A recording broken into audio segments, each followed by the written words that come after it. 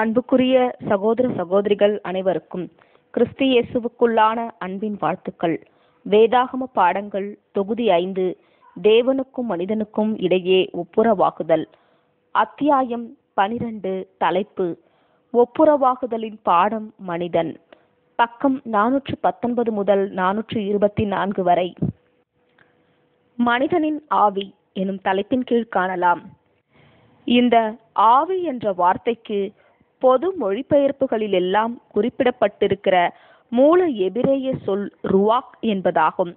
அதன் கிரேக்க சொல் நியூமா என்பதாகும். இதனை நாம் ஏற்கனவே குறிப்பிட்டிருந்தோம். ஆனாலும் தேவனுடைய கருத்தை உள்ளபடியே விளங்கிக் கொள்ள வேண்டுமானால் அதற்கு வேறு என்னென்ன அர்த்தங்கள் உள்ளன என்பதை புரிந்து கொண்டிருக்க வேண்டியது அவசியம். நாம் ஏற்கனவே பார்த்தபடி ஆவி என்பதற்கு காற்று என்பது முதற் பொருளாகவும் அடுத்தபடியாக அது கண்ணில் காண முடியாத வல்லமையையும் குறிக்கும். இதே சொல் தேவனை குறிப்பிடுகின்ற இடங்களில் அவருடைய வல்லமையையும் அவரை காணக்கூடாத தன்மையையும் குறிக்கும். தேவனுடைய செயல்பாட்டையும் ஆதிக்கத்தையும் விளக்குவதற்கு இச்சொல் பயன்படுத்தப்பட்டுள்ளது. ஆவி என்பது காண முடியாத மனதின் திறனை காண்பிக்கிறது. ஏனெனில் அது தொட்டுணர முடியாமலும் காணக்கூடாமலும் இருக்கக்கூடிய சக்தி அல்லது வல்லமையை குறிக்கும். வார்த்தைகளும் காணக்கூடாதவைகளாயிருப்பினும் வல்லமை வாய்ந்தவைகளாகும். மின்சாரத்தைப் போலவே ஜீவனும் எல்லா முக்கியத்துவமும் எங்கும் வியாபித்திருக்கிறதாயும் காண முடியாத தன்மையையும் குணங்களையும் உடையதாயும் இருக்கிறது. எனவே இப்பொழுது சொல்லப்பட்ட தன்மையையும் பொதுவாக விவரிக்க ஆவி என்ற சொல் உபயோகப்படுத்தப்பட்டிருக்கிறது. இதன் விளைவாக வேதாகமம் நமது மனதின் ஆவி என்றும் காண முடியாத நம்முடைய மனதின் வல்லமை என்றும் ஒரு மனிதனின் ஆவி என்றும் ஒரு மனிதனின் வல்லமை என்றும் மனோசக்தி என்றும் கூறுகின்றது. ஜீவ ஆவி ஜீவிக்கும் வல்லமை நமது உடல்களையும் எல்லா ஜீவிகளையும் இயக்குகிறது. தேவ ஆவி அல்லது வல்லமையை பயன்படுத்தி தேவன் எல்லாவற்றையும் இயங்க செய்கிறார். ஞானமுள்ள மனமே ஞான ஆவியாகும். அன்பென்ற குணத்தை தோற்றுவித்து செயல்படுத்துகிற ஆவியே அன்பின் ஆவியாகும். தீமையான குணம் தீய செயல்களை வெளிப்படுத்துகிற ஆவி தீய ஆவியாகும். சத்தியம் பயிற்றுவித்து சத்திய வழியிலே முற்றும் முடிய நடத்துகிற ஆவி சத்திய ஆவியாகும். உலகம் பயிற்றுவித்து உலக குணங்களால் செயல்படுத்தும் ஆவி உலக ஆவியாகும். இதுபோலவே பரலோக ஜீவிகள் காணக்கூடாதவைகளாகவும் வல்லமை உடையவைகளாகவும் அறிவு கூர்மை உடையவைகளாகவும் இருப்பதால் அவை ஆவியின் ஜீவிகளாக கூறப்படுகின்றன. இது நமது ஆண்டவராகிய இயேசு தேவன் ஆவியாய் இருக்கிறார் என்று குறிப்பிடுகிற பிதாவாகிய தேவனை மட்டும் குறிக்காதபடி உயிர்த்தெழுதலுக்கு பின் இருக்கிற கிறிஸ்துவையும் குறிக்கிறது. வேதம் கூறுகிறது நமது கர்த்தரும் இப்போது ஆவியாய் இருக்கிறார். தேவ தூதர்களுக்கும் முதலாம் உயிர்த்தெழுதலில் பங்கு பெறும் திருச்சபையாராகிய மணவாட்டிக்கும் இந்த ஆவிக்குரிய நிலைமை பொருந்துகிறது. மேலும் சாத்தானும் அவனது தூதர்களும் கூட வல்லமையுள்ள காணக்கூடாத ஆவியின் ஜீவிகளாக இருப்பதாக வேதம் கூறுகிறது. புதிய ஏற்பாட்டில் கூறப்படுகிற புதிய சுபாவம் புதிய ஆவி எனும் தலைப்பின் கீழ் காணலாம். மனிதனை பற்றி சொல்லும்போது ஆவி என்று குறிப்பிடுகின்ற இடங்களை நாம் சிந்திக்கையில் கீழ்கண்டவற்றை நினைவில் கொள்ள வேண்டும். ஒன்று புதிய ஏற்பாட்டில் ஆவி ஆவிக்குரிய என்ற சொற்கள் கீழ்கண்டவற்றை குறிக்க உபயோகப்படுத்தப்பட்டுள்ளன. முதலாவதாக புதிய சுபாவத்திற்குட்பட்ட பரிசுத்தவான்களுடைய மனது தேவாவியினாலும் வார்த்தையினாலும் ஜெனிப்பிக்கப்பட்டவர்கள் கிறிஸ்துவுக்குள்ளாக புதிய சிருஷ்டிகள் ஆக்கப்பட்டவர்கள் இவர்களே மனித நிலையிலிருந்து ஆவிக்குரிய நிலைமைக்கு அழைக்கப்பட்டவர்கள். இவர்கள் இறுதி வரை விசுவாசத்தில் உறுதியாயிருந்தால் முதலாம் உயிர்த்தெழுதலில் வாக்குத்தத்தம் பண்ணப்பட்ட இந்த சுபாவத்தை பெறுவார்கள். இரண்டு உயிர்த்தெழுதலுக்கு பின்னர் கிறிஸ்து பெற்ற ஆவிக்குரிய நிலையை அடைவார்கள். அது பரமபிதாவின் மகிமையுள்ள புதிய தெய்வீக சுபாவமாகும். இதன்படியாக திருச்சபையின் நம்பிக்கை எதிர்காலத்தில் மகிமையுள்ள நிலைக்கு உயர்த்தப்படும். மூன்றாவதாக ஆயிர வருட அரசாட்சியில் இந்த பூமிக்குரிய ஆசிர்வாதத்தை பெறும் உலக ஜனங்களை விட திருச்சபையார் பெறப்போகும் மகிமையோ ஆவிக்குரியதாகவும் பரத்துக்குரியதாயும் இருக்கும். நான்கு தூதர்களை பற்றி குறிப்பிடுகையில் அவர்கள் இயல்பாகவே பரத்துக்குரிய ஆவிக்குரிய மேனியை பெற்றிருப்பார்கள்.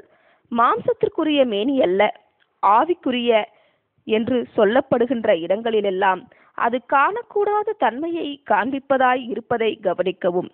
இப்படிப்பட்ட வார்த்தைகளின் சில உதாரண உபயோகங்களை கீழே காண்போமாக. ஒன்று பவுல் எருசலேமுக்கு போகும்படி ஆவியில் நிர்ணயம் பண்ணிக்கொண்டு நியூமா மனது சித்தம் நோக்கம். அப்போ சிலர் பத்தொன்பதாம் அதிகாரம் இருபத்தி ஓராம் வசனம். இரண்டு பவுல் அத்தேனே பட்டணம் விக்கிரக ஆராதனைக்காரர்களால் நிறைந்திருக்கிறதை கண்டு தன் ஆவியில் மிகுந்த வைராக்கியம் அடைந்தார். இவ்விடத்தில் சொல்லப்பட்ட நியூமா ஆவி மனதின் உணர்வுகளை குறிக்கும். அப்போ சிலர் பதினேழாம் அதிகாரம் பதினேறாம் பதினாறாம் வசனம். பவுல் ஆவியில் வைராக்கியம் கொண்டு இயேசுவை கிறிஸ்து என்று யூதருக்கு திருஷ்டாந்தப்படுத்தினார். இங்கு நியூமா என்ற சொல் மனதின் உத்வேகம் என்று பொருள்படுகிறது. அப்போ சிலர் பதினெட்டாம் அதிகாரம் ஐந்தாம் வசனம். அப்பல்லோஸ் கர்த்தரால் உபதேசிக்கப்பட்டு ஆவியில் அனலுள்ளவனாய் கர்த்தருக்கு அடுத்தவைகளை திட்டமாய் போதகம் பண்ணி கொண்டு வந்தான். இவ்விடத்தில் நியூமா என்ற கிரேக்க சொல்லுக்கு அனல் போன்ற வைராக்கியம் என்று பொருள். அப்போ சிலர் பதினெட்டாம் அதிகாரம் இருபத்தி ஐந்தாம் வசனம். இடைவிடாமல் உங்களை நினைத்து கொண்டிருக்கிறதை குறித்து தமது குமாரனுடைய சுவிசேஷத்தினாலே என் ஆவியோடு நான் சேவிக்கிற தேவன் எனக்கு சாட்சியாய் இருக்கிறார். ரோமர் ஒன்றாம் அதிகாரம் ஒன்பதாம் வசனம். இங்கு நியூமா என்ற சொல் என்னுடைய புதிய மனம் புதிதாக்கப்பட்ட சிந்தை என்று பொருள் தருகிறது. தேவனுக்குரியவைகளாகிய உங்கள் சரீரத்தினாலும் உங்கள் ஆவியினாலும் தேவனை மகிமைப்படுத்துங்கள். ஒன்று குருந்தியர் ஆறாம் அதிகாரம் இருபதாம் வசனம். இங்கு சொல்லப்பட்ட நியூமா என்ற சொல் மனதை குறிக்கும். நான் சரீரத்தினாலே உங்களுக்கு தூரமாயிருந்தும் ஆவியினாலே உங்களோடு கூட இருக்கிறவனாய். இப்படி செய்தவனை குறித்து நான் கூட இருப்பது போல. ஒன்று குருந்தியர் ஐந்தாம் அதிகாரம் மூன்றாம் வசனம். இங்கு நியூமா என்ற சொல் உள்ளத்தின்படி என்று பொருள் தருகிறது. அழியாத அலங்கரிப்பாய் இருக்கிற சாந்தமும் அமைதலும் உள்ள ஆவியாகிய இருதயத்தில் மறைந்திருக்கிற குணமே ஒன்று பேதிரு மூன்றாம் அதிகாரம் நான்காம் வசனம். நியூமா குணம் என்று பொருள் தருகிறது. ஜென்ம சரீரம் விதைக்கப்படும் ஆவிக்குரிய சரீரம் எழுந்திருக்கும். ஒன்று குருந்தியர் பதினைந்தாம் அதிகாரம் நாற்பத்தி நான்காம் வசனம். இங்கு ஆவிக்குரிய என்ற சொல்லுக்கு நியூமேட்டிகோஸ் என்ற கிரேக்க சொல் உபயோகப்படுத்தப்பட்டுள்ளது. ஜென்ம சரீரமும் உண்டு ஆவிக்குரிய சரீரமும் உண்டு. ஒன்று குருந்தியர் பதினைந்தாம் அதிகாரம் நாற்பத்தி நான்காம் வசனம். ஆவிக்குரிய நியூமேட்டிகோஸ் ஆகிலும் ஆவிக்குரிய சரீரம் முந்தினதல்ல. ஜென்ம சரீரமே முந்தினது. ஒன்று குருந்தியர் பதினைந்தாம் அதிகாரம் நாற்பத்தி ஆறாம் வசனம். நியூமேட்டிகோஸ் ஆவிக்குரிய சரீரம் பிந்தினது. ஒன்று குருந்தியர் பதினைந்தாம் அதிகாரம் நாற்பத்தி ஆறாம் வசனம். நியூமேட்டிகோஸ் மாம்ச சிந்தை மரணம் ஆவியின் சிந்தையோ ஜீவனும் சமாதானமுமாம். ரோமர் எட்டாம் அதிகாரம் ஆறாம் வசனம். நியூமா தேவனுடைய சித்தத்தினாலும் பரிசுத்த ஆவியினாலும் நடத்தப்படுகிற மனதை குறிக்கும். ஆவிக்குரியவர்களாகிய நீங்கள் சாந்தமுள்ள ஆவியோடே அப்படிப்பட்டவனை சீர்பொருந்த பண்ணுங்கள். கலாத்தியர் ஆறாம் அதிகாரம் ஒன்றாம் வசனம். நியூமேட்டிகோஸ் இவ்விடத்தில் ஆவியினால் ஜெனிப்பிக்கப்பட்டதாயும் புதிய சிந்தை உடையது என்றும் பொருள். நியூமா குணநலன்கள். நம்முடைய கர்த்தராகிய இயேசு கிறிஸ்துவின் பிதாவாகிய தேவன் உன்னதங்களில் கிறிஸ்துவுக்குள் ஆவிக்குரிய சகல ஆசீர்வாதங்களினாலும் நம்மை ஆசிர்வதித்திருக்கிறார். எபேசியர் ஒன்றாம் அதிகாரம் மூன்றாம் வசனம். நியூமேட்டிகோஸ் ஆவிக்கினமான ஆசீர்வாதம். ஆவியினால் நிறைந்து சங்கீதங்களினாலும் கீர்த்தனங்களினாலும் ஞானப்பாட்டுகளினாலும் ஒருவருக்கொருவர் புத்தி சொல்லிக் கொண்டு எபேசியர் ஐந்தாம் அதிகாரம் பத்தொன்பதாம் வசனம். நியூமா தேவனின் பரிசுத்த ஆவி நியூமேட்டிகோஸ் புதிய ஆவிக்கேற்ற ஞானப்பாட்டுக்கள். நீங்கள் எல்லா ஞானத்தோடும் ஆவிக்குரிய விவேகத்தோடும் அவருடைய சித்தத்தை அறிகிற அறிவினாலே நிரப்பப்படவும். ஒன்று குருந்தியர் ஒன்றாம் அதிகாரம் ஒன்பதாம் வசனம். நியூமேட்டிகோஸ் தேவனையும் அவருடைய திட்டத்தையும் அறிவதால் ஏற்படுகிற புதிய சிந்தை. நீங்கள் ஆவிக்கேற்ற மாளிகையாகவும் கட்டப்பட்டு வருகிறீர்கள். ஒன்று பேதிரு இரண்டாம் அதிகாரம் ஐந்தாம் வசனம். நியூமேட்டிகோஸ் ஆவிக்குரிய ஒரே குடும்பத்தை சார்ந்த என்று பொருள்படுகிறது. குறி சொல்ல ஏவுகிற ஆவியை கொண்டிருந்து குறி சொல்லுகிறதினால் அப்போஸ்தலர் பதினாறாம் அதிகாரம் பதினாறாம் வசனம் நியூமா காணக்கூடாத ஒரு வல்லமை. பவுல் திரும்பி பார்த்து நீ இவளை விட்டு புறப்படும்படி உனக்கு கட்டளை இடுகிறேன் என்று அந்த ஆவியுடனே சொன்னார். அப்போ சிலர் பதினாறாம் அதிகாரம் பதினெட்டாம் வசனம் நியூமா ஒரு பெண்ணை பற்றியிருக்கும் அசுத்த ஆவியை குறிக்கும். பொல்லாத ஆவிகளும் அவர்களை விட்டு புறப்பட்டன. அப்போ சிலர் பத்தொன்பதாம் அதிகாரம் பனிரெண்டு பதிமூன்று வசனங்கள் நியூமா. பொல்லாத ஆவி நீங்கள் யார் என்று சொல்லி அப்போஸ்தலர் பத்தொன்பதாம் அதிகாரம் பதினைந்தாம் வசனம் நியூமா. சதுசேயர் தேவதூதனும் ஆவியும் இல்லை என்று சொல்லுகிறார்கள். அப்போ சிலர் இருபத்தி மூன்றாம் அதிகாரம் எட்டாம் வசனம் நியூமா ஆவிக்குரிய ஜீவி.